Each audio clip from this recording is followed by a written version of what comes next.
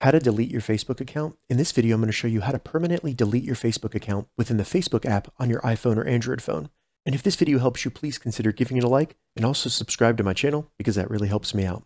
All right, so to delete our Facebook account, the first thing we need to do is simply open up the Facebook app on our iPhone or Android phone and then select menu in the bottom menu. Once the menu opens, select the gear in the top right to open up the settings, and then in the settings, select see more in account center. Now that we're in the account center, scroll down and under account settings, select personal details.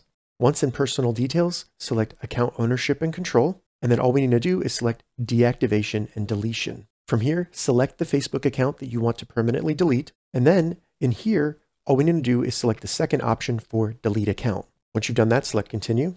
Now just simply give a reason for why you're deleting your Facebook account, and then select continue. From here, just select continue once more, and then they'll give you some information about how you can deactivate your Facebook account instead if you want to. You can also download all your information, your photos, posts that you've made from Facebook if you want to archive that or upload it to another social media.